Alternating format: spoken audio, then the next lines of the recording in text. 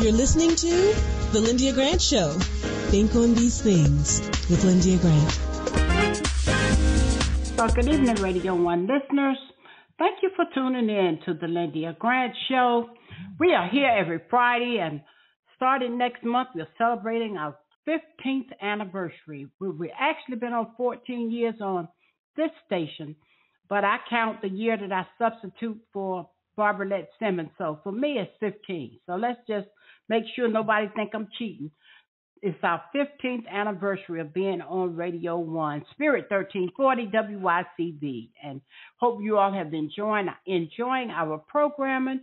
We started off with Adrienne Washington, but she's been sick for several years now. And so blessed and thankful that we have gotten someone with the status of Dr. Julianne Malveaux. She's on every week with us now when she can. Sometimes she's traveling or speaking or in Africa, Europe, anywhere. I, I love Dr. Julianne. She is so good. So today we're going to have Dr. Julianne Malveaux, and then in our second half, a soror of mine by the name of Dr. Tonya Thames Taylor from West Chester University is going to be talking about pay equity. So I want you to tune in for that kind of fits in a lot with what Dr. Julianne talks about because she is an economist. But today she can talk about whatever she pleases. Dr. Julianne Malveaux, do your thing. Well, greetings, Linda. Good to be with you as always. Uh, good to be with our sister uh, Tonya Taylor. I know she's going to do a brilliant job, and always remembering Adrienne Washington, our friend who um, can't be with us uh, by phone, but is with us in spirit and in presence. And so just happy to be here. Now let's just begin with the economy. Usually I start with politics, but today I want to start with the economy because the Fed released a report uh, this week. They said that um, 65% of all Americans say that inflation makes them feel worse off. Um, they are looking at a progress report uh, from 2023 and they are challenged by inflation. This does not bode well for President Trump. Does not bode well for him at all. Uh, but it is what it is. Um, inflation is around, and actually, it went up to 3.4 percent last month from from a year ago. That is challenging.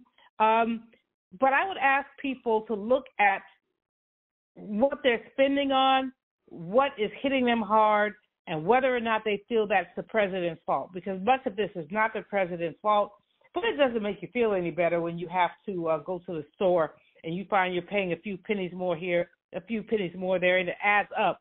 A friend of mine said I once spent a hundred dollars. I didn't even buy any meat.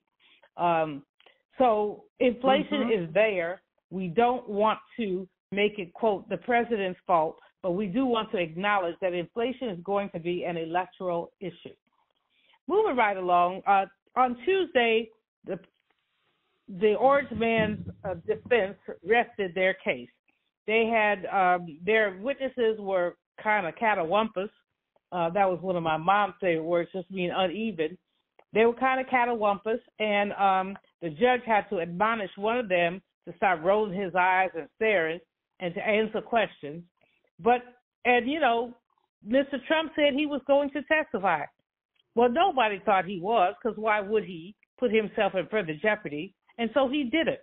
But the they have arrested the case, and arresting the case, what we know is that um, it hinges on a couple of witnesses, including Michael Cohen. They um, will be deliberating next week. They have the rest of the week off. They'll be deliberating next week, and we'll see what happens. Now, exciting, exciting, exciting. I want everybody who's listening to stand up and do the happy dance. Angela Alsobrooks won her election. She is mm-hmm. the Democratic nominee for the United States Senate yes. for Maryland. Yes. A Democratic nominee. She will be, if she is elected, and we're going to make sure she is, um, she will be only the third black woman to serve in the United States Senate. Uh, Barbara Mikulski, who was the first woman to serve in the Senate, endorsed her. She's got endorsements all over the state of Maryland, which is a blessing. But it's going to be an uphill battle. Larry Hogan, who is the former governor of Maryland, who um, was handpicked by Mitch McConnell he is her opponent on the Republican side. He is lying again. He says he supports a woman's right to choose. All of a sudden, he hasn't supported it for his whole congressional, his whole um, legislative life. But now he supports mm-hmm. it. Come on now. He is, and his first ad came out with, um, on Tuesday saying he supported a woman's right to choose. You know, like my grandmother used to always say, "Don't pee on me and tell me it's raining." You know, because basically he is. Hey, he's been consistent. He's been consistent. He's been consistent. But mm-hmm. this is a Angela beat Trone double digits, ten percent, twelve percent, and so so this is going to continue. So this is going to be a fight down to the finish. But you know what? We're ready for it. Everybody is ready for it. Um, RFK Jr. Talk about him. His sister Kerry said that the Kennedy family is in favor of President Biden. She's been making headlines because she's talked about how he is wrong, he doesn't tell the truth, and, and although she loves her brother, she wants to see him out of. He just she does not want him to win. He is qualifying in ballots all over the country, and so this becomes a challenge. I think he's down up to 13 ballots that he's qualified for. And races then states he can make the difference between Biden and Trump. He can make the difference. And so we just have to keep a look on that. And all these people who want to be independent, go on with your independence. Do you want uh, Trump? Because that's really where we are. We are not partisan on this program. We are factual. Let me just say that because I want to get you in trouble. Mm-hmm. We're not partisan, we're factual. But here are the facts. RFK Jr. is an anti-vaxxer. He's anti-DEI. He is not worthy of the presidency. Um, on Tuesday, in several states, people are going to the ballots. In Georgia, um, in Idaho, Kentucky, uh, Oregon. In California, they will replace Kevin McCarthy. Of course, it's likely to be a Republican, but eh, maybe not. Uh, what we're seeing actually is um, people going this we've begun the electoral season, Lyndia. Mm-hmm. It's May, we got June, July, August, September, October. We are in the electoral season and we hope that things will go the way they should to maintain our rights and freedoms, but it requires everybody to get out there and vote. Mm-hmm. Now, let's pivot to the Middle East for a minute.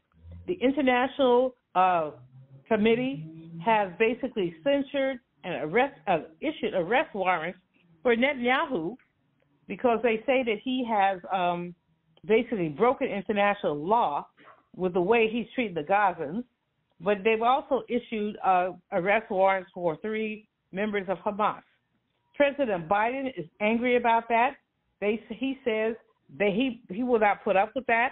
He has always been solidly in Israel's corner, but we know that there are some challenges here, not just that he's in Israel's corner, but that we still see the rape, the killing uh, of, of Gazans. Meanwhile, as we look at that, Lily Greenberg, who's a young Jewish woman who worked for the Department of Interior, resigned her position on May 15th. Lily Greenberg said that one of her values that she was um, raised with was to save a life is to save the world. She suggests that what Israel is doing is not saving lives, and she says that Biden, President Biden, is using her community to justify slaughter. Um, she has she's made several public statements. Most recently, she appeared on Democracy Now, uh, the uh, Pacifica program with Amy Goodman, where she talked about why she had to resign. She's the first Jewish American to resign from a government position, and she's resigned because, again, she says that this is not right and it is not fair, and she wants to see us pull back. President Biden was at Morehouse uh, last week, where he did. Uh, he was he was excellent. Anyone who says he can't talk can't hear. Mm-hmm. But he really did give a great speech, and he did talk about what was happening in Israel, just very briefly, because that was not the purpose. But he did in, indicate his strong support for HBCUs, 16 million, 16 billion more dollars for HBCUs, and he talked about the right that students had for dissent. He didn't directly address the Israel situation, but you know that he was under that cloud. There were professors who had the coffee, the scarf around their necks. There was one brother who put his fist up in the air. Um, people, HBCUs don't clown like white folks do. We know mm-hmm. they don't clown like white folks do. Um, but they are many students are very affected by what's going on, and they want the president to do better. He did call for a ceasefire, but calling for a ceasefire at Morehouse College is like calling for um, I don't know the end of barbecue in Texas. In other words, those students don't have any power to do anything but listen to him. If he wants a ceasefire, go to the floor of Congress and call for it there. Mm-hmm. So that we it, it it's been a very busy week, and the commencement thing, of course, you know, hits me where I live as a former college president. I would not want any protests on my campus during graduation because it's a sacred time. Many people, many older people, and first generation families, they've saved and scrimped to get themselves to that campus. They want to have a pleasant time.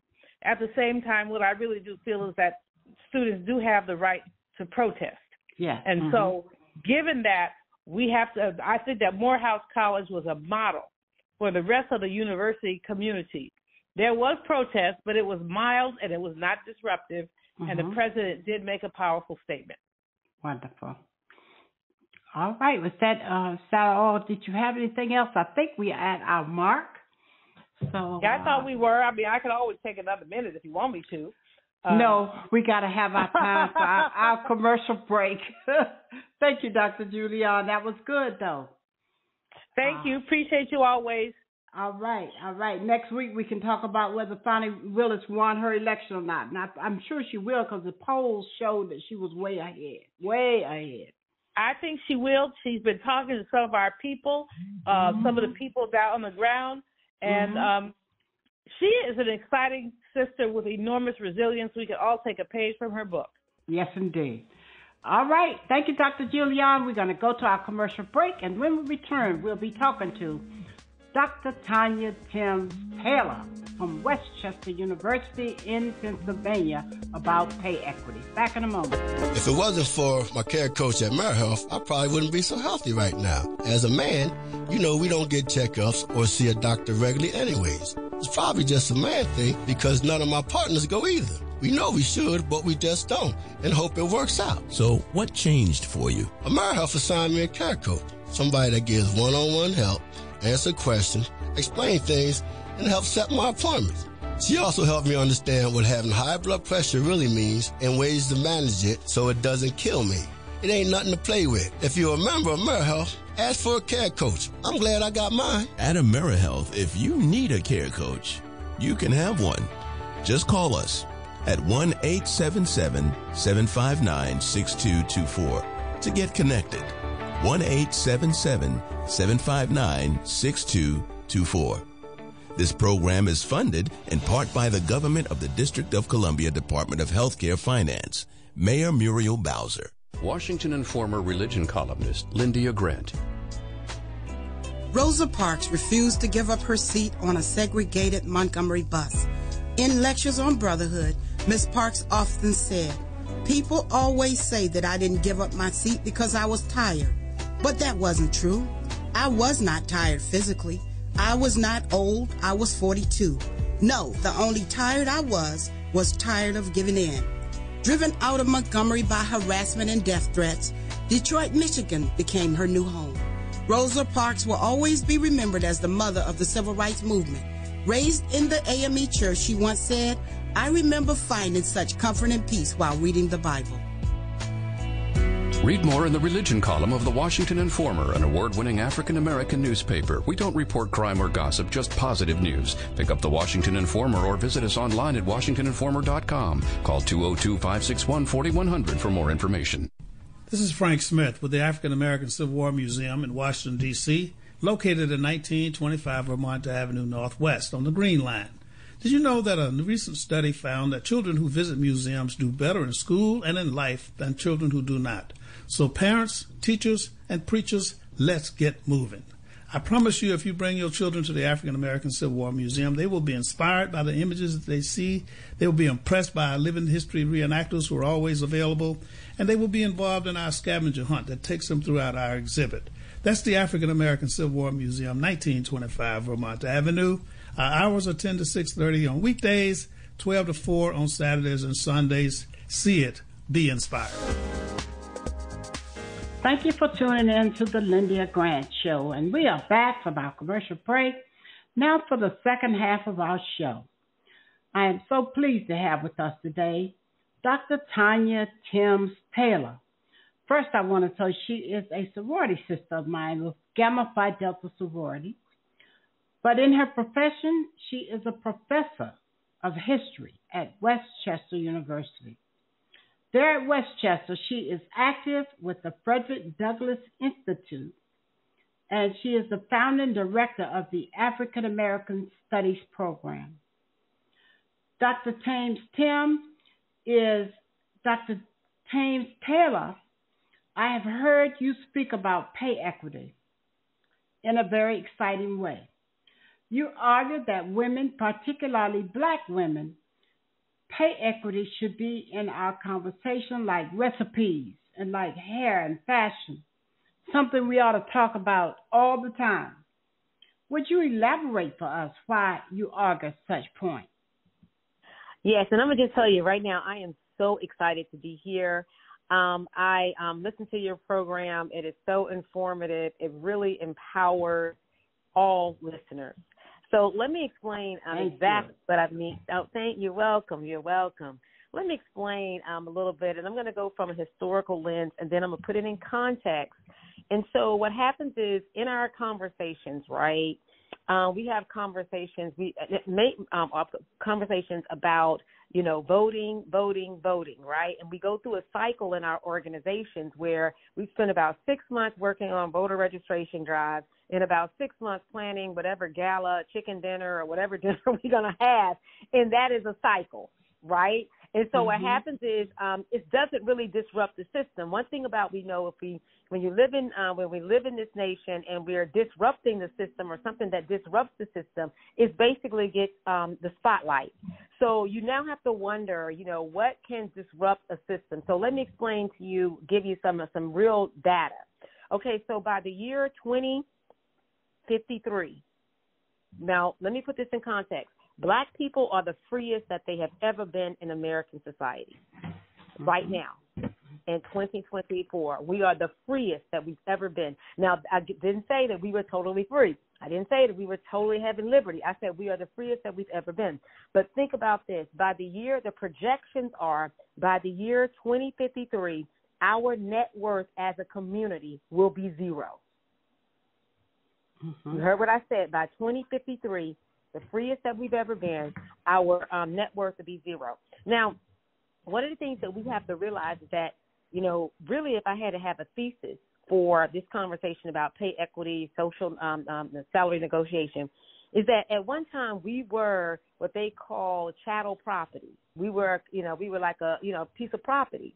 And what happens is in our um, financially, we still sort of in part of that um, symbolic, you know, chattel. Um, you have our community. We walk around like we're really walking billboards for a lot of brand names, but because we don't understand the difference between wealth and income, we need to start to have that conversation in our community. What's the difference between wealth? So just because somebody makes six figures or you know seven figures, it doesn't necessarily make them wealthy. So we have to have that conversation. Again, the difference between um, wealth and income. I'm going to come back to that in a second. But I mm-hmm. said that I was going to give some um, some stats here. Okay, first, number one, between 2014 and 2018, one in four, that's 22 percent of Black women lived in poverty. One. Wow. Mm-hmm. Okay. Number two, more than half of Black women have no retirement savings. Number three, the average median income for black women is $36,000 a year. Number four, right? We are when we when you look at our um, like what happens is when you look at our um, um, like average financial assets as a whole, as like so basically the average black woman's um, you know financial assets can range from about twenty five thousand dollars. I mean twenty five thousand, but on a median, meaning all of us put together, we're at roughly one thousand two hundred and fifty one. Now, when you sort of take that to the fact that the majority, you understand that only 41% of African Americans own homes. You have to look at a home as a savings bank. A home is something that you can have equity in and really just look at it as a savings bank. Now, think about this. Of that um, 47, um, of the 41% that own homes, right? What happens is that at a median value, it's at zero right? So the average home is roughly about for in our community about fifty three thousand dollars. And what happens is on a median value it's zero. Same true for black men. That's why that number in 20, um, 2053, that's why that number is so crucial because you can look at our home ownership and give it as again a part of an indicator to where we headed. Now, right now, when we having this conversation about pay equity, I want us to keep this in mind that we make only 69 percent, I mean, 69 cents of the white man's dollar. If you have a hmm. person who's working in a 40 year career, basically we are 900,000, we make $900,000 less than a white man. Now that's over a 40 year career. I mean, it's not at a million, but it's certainly knocking on the door. Now, what does the what, what do I mean when we talk about that something called wage gap? So that means that in our wage gap, are we going to catch up to the white man's dollar on this year in 2024 on July the 27th, 2024. So what does that mean? That means we got to get to July the 27th, 2024 to get to where a white man ended on December the 31st, 2023. That many months behind. That many months behind. Mm-mm-mm. And so what happens is now when you sort of look at this, what does this actually mean? This means that, you know, we have been sort of, um, that's why I was saying, going back to that cycle. So initially, voting was a gendered conversation in many ways because women were, you know, excluded to the right to vote through the 19th Amendment. And so what happens is that, so we say, okay, you know, um, you know, women need to get out, you know, people need to vote, vote, vote. We need to vote, vote, vote, vote, vote. But my piece is that I think that as women organizations or organizations for women and organization with civil rights, we need to have two things going on. Our number one issue needs to be pay equity. We need to push that. Number mm-hmm. two will come voting. And let me explain what I mean by that. When you go to the gas pump and you have to look up that octane of 87, 89, 91, or 93 octane, you know what's going to determine which one you have if you don't have a luxury vehicle and you have to use 91? It's going to be what you have in your pocket when you go to the grocery store and decide that you want to make hamburgers for your family, you got, I mean, you have, you're going to use ground beef. Let's say meatloaf. You're now going to say, okay, here is 80% lean, 90% lean, 93% lean, or 96% lean. All of them are coming at a different price. What is being, what's driving what you're going, you know, what your choices are, and that is what you have in your pocket. I mm-hmm. told you that the majority, right? I shared with you the majority of us really what happens is that we're far behind in income. We're only getting paid 69% of the white man's dollar. Many of us are head of household. And so now you got us on, it's like a cycle, right? And what happens is that we have things in our community that says this. So get your toe in the dough. You know, just get in there. And when you get in there, you show them. Yeah, you got to work twice as hard, but you got to show them. And once you get in there, you can, you know, perhaps get a promotion. I'm saying we need to squash that. We need to say, hey, look, you go in and you have objectives in mind, understand what your job market is about, and that's what understanding pay equity, um, going to pay equity and salary negotiation workshops will do. Is that they will teach you how to go to like a next door or places where to determine, hey, this is what's being paid in your marketplace. Mm-hmm. Um, this is what what you need to sort of look at. I mean, I can remember when I first got my job in my family. I'm from Mississippi, like you already said, and basically for my family, I started off, and I have I like to share real numbers. I started off at like fifty six, fifty seven thousand dollars.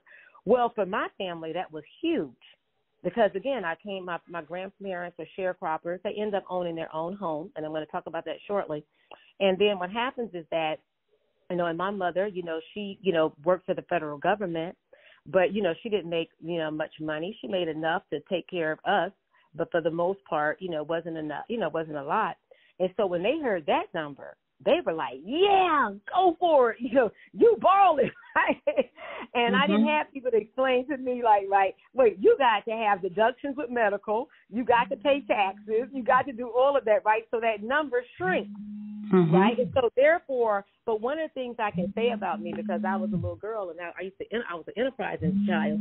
Uh, what I did is I end up, um, I know we just got a few more minutes. I I end up basically saying I negotiated my salary.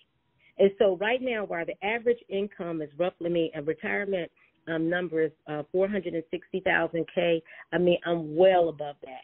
But again, it came from um, salary negotiation, looking at pay equity workshops. So I know I'm going, we got to now get ready to wrap up. But one of the pieces that I want to share. We have five five more minutes. Oh, okay. So one of the things that I want to say is that, um, you know, we always get the story of Black Wall Street. And one of the things that they tell us is how it was scorched to the ground. Oh, it was scorched to the ground. It was scorched to the ground. And so, therefore, in our cycles, um, if you go to our museums, they'll tell you that narrative. And they'll say, you know, wasn't that a shame? We got to be very careful because one of the things that conservatives have done is they have actually hijacked a lot of um, black people, or I'm going to say survivor stories. What do I mean by that? So, what they don't tell you, and you can Google this for yourself, Black Wall Street was rebuilt by 1925. Mm-hmm. It was the, it burnt to the ground in 21, and then was rebuilt by 25. Now, why am I sharing that with you? I think that as a community, we need to go back and revisit Booker T. Washington because he was spot on about economics. I'm not going to say what industries that he was spot on, but the concept. Now, what happens is that um, when you scorch something to the ground, and that they did, that was you know it was an awful situation.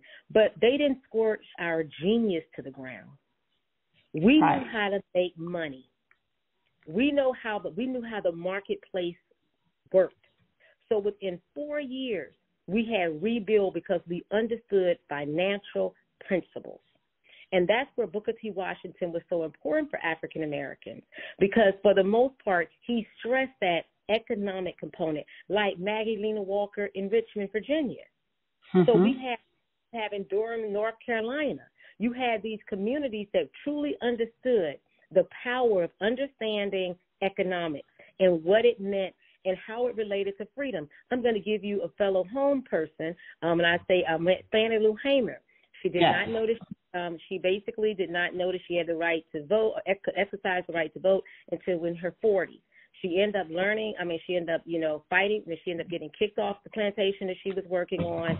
She had to go through undergo a, a huge slew of violence. Um, but what happens is that she ended up, you know, start with the Mississippi Freedom Democratic Party. You know, she ended up rising into politics. But she ended up getting to the. If you check her story out, people like to have her right there in 64 to like 66 but what they don't go is, again, beyond that narrative.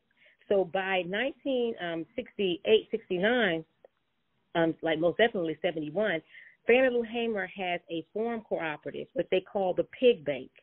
And what happens is people can come in, they got a male and a female, they made it this pig, and then what happens is they brought it back to the bank and they helped another family. Now, why is that important? Because Fannie Lou said this.